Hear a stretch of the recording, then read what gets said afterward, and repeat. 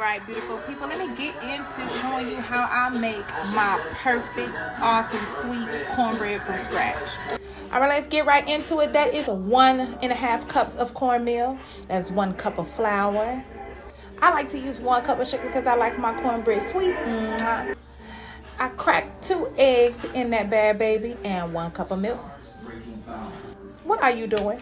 I like to mix that thing into perfection and I am using all self-rising products because I didn't have any baking powder. That is two sticks of butter. And in between yeah. while I'm letting that butter melt, look at me at my dance break. Shout out to my big sister for teaching me this dance now. I can't stop doing it. Hey, hey got it, hey. girl. You don't got She's it. A hater. Uh, uh. And we're back. That butter is melted. I put it in the batter, mixed it up really well, and threw it in the cast iron skillet. In 22 minutes, you have this. That is what I'm talking about.